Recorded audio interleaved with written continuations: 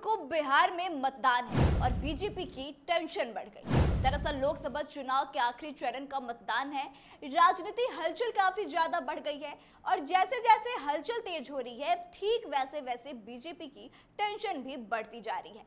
अब ऐसे में डैमेज कंट्रोल से बचने के लिए बीजेपी ने बड़ी रणनीति भी बनाई है। अब बीजेपी की टेंशन क्यों बढ़ गई है और क्या कुछ रणनीति बनाई गई है, आइए हम आपको इस वीडियो में विस्तार से बताते हैं। नमस्कार, स्वागत है आपका कैपिटल टीवी बिहार के स्पेशल शो चुनावी चौसर में और मैं हूँ आपके साथ आत्मजा। दरअसल बीजेपी सातवें चरण की वोटिंग में जीत के लिए कोई भी मौका नहीं छोड़ना चाह रही।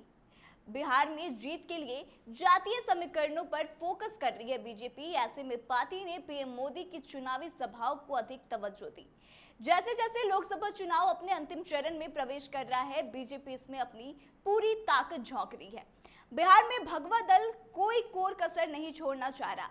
पार्टी आखिरी चरण में खास रणनीति पर भी फोकस कर रही है। बात अगर केवल बिहार की करें तो बिहार में बीजेपी को जातीय असंतुलन का सामना करना पड़ रहा है, जिससे कि बीजेपी की चिंता बढ़ गई है।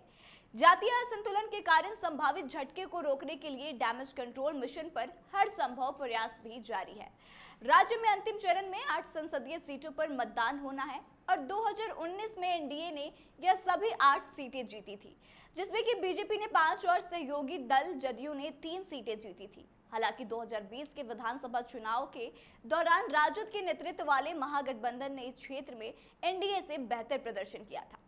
अब 2024 में राजनीतिक समीकरण और जमीनी हालात में थोड़ा बहुत बदलाव देखने को मिल रहा है। यहाँ जदयू नेता और बिहार के सीएम नीतीश कुमार का मज़बूत समर्थन आधार करने वाला कुशवाहा समाज जो है एनडीए से दूर होते जा रहा है। ऐसा लगता है कि समुदाय में बीजेपी के प्रति अविश्वास पैदा हो गया है। पार्टी ने किसी भी कुशवाहा उम्मीदवार को मैदान में नहीं उतारा। यह तब है जब राष्ट्रीय लोक मोर्चा के सामुदायिक नेता उपेंद्र कुशवाहा, काराकाट लोकसभा क्षेत्र से एनडीए के उम्मीदवार हैं। दरअसल एनडीए के सामने कुशवाहा की समस्या की जड़ काड़ा काट है। पूर्व बीजेपी नेता और भोजपुरी अभिनेता पवन सिंह ने इस सीट से निर्दलीय उम्मीदवार के तौर पर नामांकन दाखिल किया। वहीं दूसरी तरफ़ बीजेपी ने आखिरकार पवन सिंह को पार्टी से निष्कासित भी कर दिया।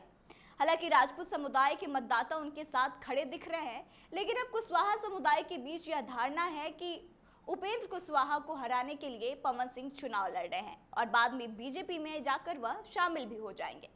ऐसे में कुशवाहा की बदलती निष्ठा का असर आरा, बक्सर, जहानाबाद और पाटलिपुत्र के आसपास की सीटों पर महसूस किया जा रहा है। वहीं जहानाबाद में भूमिहार समुदाय के मतदाताओं का एक वर्ग जदयू के सांसद चंदेश्वर चंद्रवंशी जो है, उनसे नाखुश है। भूमिहार समुदाय के लोग बसपा उम्मीदवार अरुण कुमार या फिर निर्दलीय आशुतोष कुमार के साथ जाने की योजना बना रहे हैं। वहीं दूसरी ओर पवन सिंह को पार्टी से निकाल देने के बाद से राजपूत समाज में भी थोड़ी बहुत नाराज़गी देखी जा रही है। तो यह तमाम घटनाक्रम जो है बीते दिनों में बिहार में घटित हुए। इससे कहीं ना कहीं भाजपा के लिए जातीय समीकरण असंतुलित सा हो गया है। ऐसे में इन घटनाक्रमों से होने वाले नुकसानों को कम करने के लिए भाजपा नेतृत्व हरकत में आ गया है। इसके शीर्ष नेता अब मगध क्षेत्र पर ध्यान केंद्रित कर रहे हैं। इसी से बचने के लिए पीएम नरेंद्र मोदी ने शनिवार को पाटलिपुत्र बक्सर और काराकाट में तीन रैलियों को संबोधित किया। शुक्रवार को गृह मंत्री अमित शाह ने क्रमशः भाजपा और जदयू उम्मीदवारों के लिए आरा और जहानाबाद में दो रैलियों को संबोधित किया। वहीं रविवार को भाजपा के राष्ट्रीय अध्यक्ष जेपी नड्डा, काराकाट, आरा और नालंदा में तीन सार्वजनिक बैठकों को संबोधित किए। तो यह तमाम बड़े नेता जो हैं, भाजपा के, वह लगातार आखिरी चरण में बिहार का दौरा किए हैं और कहीं ना कहीं भाजपा को अब इस बात का डर सता रहा है कि जो जातीय असंतुलन हुआ है, वह उनके लिए या फिर उनके पार्टी के लिए खतरा साबित हो सकता है। इसलिए इनके तरफ़ से अब डैमेज कंट्रोल की कोशिश की जा रही है। तो ऐसे में अब देखना दिलचस्प होगा कि जब एक जून को वोट पड़ते हैं तो किसके पक्ष में ज़्यादा वोट पड़ते हैं? लेकिन आपको क्या लगता है कि अब वाकई में अब आखिरी चरण में भाजपा डरी हुई है? कहीं ना कहीं उनके मन में भी शंका है कि इस बार उनको इन आठों सीटों पर उतनी आसानी से जीत नहीं मिलेगी जितना कि पिछले चुनाव, यानी कि 2019 में मिला था। आप कमेंट करके अपनी राय ज़रूर बताएँ। वीडियो अच्छी लगी हो तो शेयर करें और आगे के तमाम अपडेट्स के लिए बने रहे हमारे साथ। देखते रहे कैपिटल टीवी बिहार। धन्यवाद।